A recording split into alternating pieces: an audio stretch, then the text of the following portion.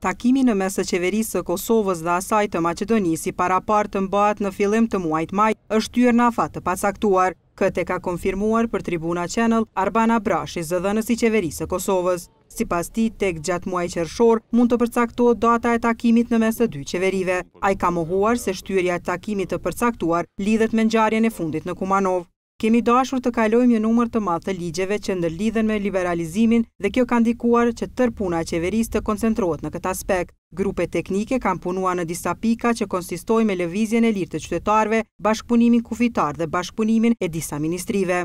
Pra janë çështje teknike ato që kanë prolonguar takimin. ngase ne po mendojmë që takimi të mos jetë vetëm protokollar ose njoftues, por të jenë takime ku do të arriheshin edhe marrëveshje që lehtësojnë jetën e qytetarëve të të dy shteteve, ka sqaruar Abrashi. Kurse Muhamet Hoxha, zëdhënës i qeverisë në Maqedoni, ka thënë se dy qeveritë janë në konsultime sa i përket takimeve, por nuk dihet kur do të ndodhë takimi. Sipas tij, marrëveshjet që pritet të nënshkruhen në mes të Prishtinës dhe Shkupit do të jenë në fushën e arsimit, por edhe rreth lëvizjes së lirë të qytetarëve në të dy vendet, me theks të veçantë kalimi i kufirit vetëm me letërnjoftim.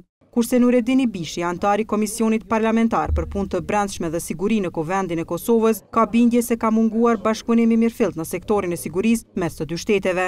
Ai e quan terrorizëm shtetëror ndërhyrjen e policisë maqedonase në lagjen e Trimave.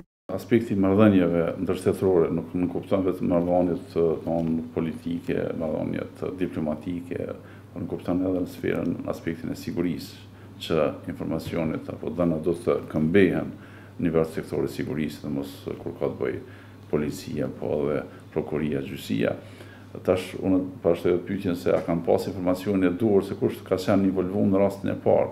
Po të kishin të kishin pasë, çka supozoj se po, atëherë është dashtë të ndërmirën masat tona masat tona vepruese them apo operative në terren, ato të jenë të dukshme, edhe normal ato mirën nga ekzekutivi. Ibishi vlerëson se vetëm konflikt i armatosur nuk mund të quhet ngjarja që ka ndodhur në Kumanovë. Ai ka kërkuar që institucionet e Kosovës të mbikëqyrin të gjithë fazën e hetimit të këtij rasti.